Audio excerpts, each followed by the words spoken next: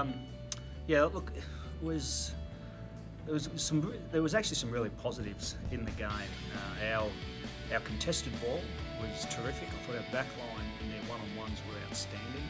Uh, our restart work was as good as it's been all year. I think we finished even in the clearances, but it was more the way that we went about it. We uh, Sturt didn't get any easy uh, clearance wins, which has been a, a challenge for us this year. So that was terrific.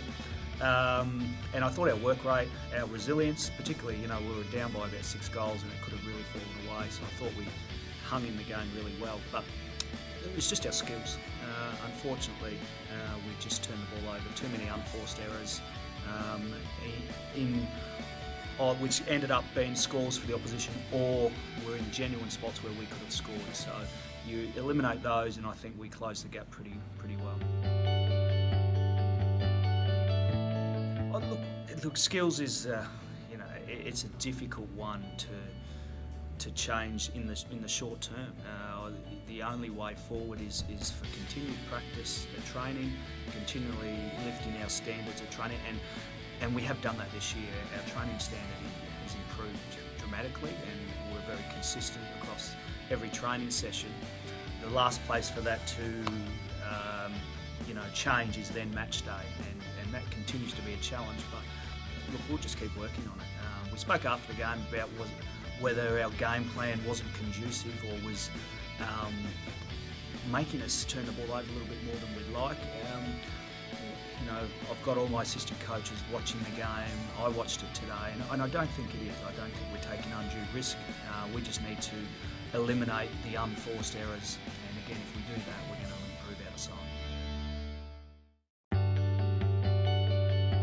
I, I think uh, our standards and, and uh, you know our behaviours, our um, approach to training um, is, has improved, and yeah, I'm really happy where that's gone this year. Um, obviously, our, our, supporters want to see wins on the board. I totally understand that, but wins come on the back of a, a lot of hard work, and um, and I think that the players have done what I've asked for them in that area. So uh, I, I, think longer term, it's going to hold us in good stead. I've got no doubt we'll hit pre-season uh, in a few months' time. Um, you know, with renewed vigour, and I think we'll have our best pre-season in a long time and be ready for next year.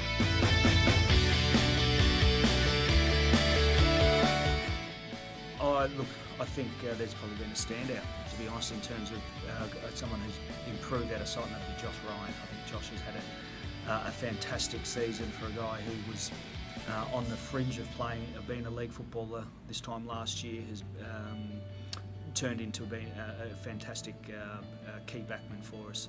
Uh, I think Chris Burgess has improved again this year, which is exciting because he, he, showed some really great signs last year. I think he's taken his game to another level.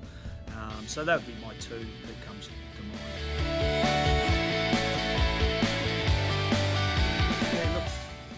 You kind of consider this week a bit of a dead rubber in some aspects that neither team can make the finals. Um, but uh, as I've said, and, and, the players are well aware, this every game to us from now on is incredibly important, and um, because it, it's a representation of where we want to go in the future, and um, consistent, ruthless approach to the way that we go about our football is a non-negotiable. Whether it, whether it's a grand final or whether it's a game that doesn't have um, a, a, lot on the end of it. So it's about the way that we go. So there'll be no excuses for our boys this week, um, and they'll be given no uh, easy ride from me in the way they go about it. Uh, that's our expectation.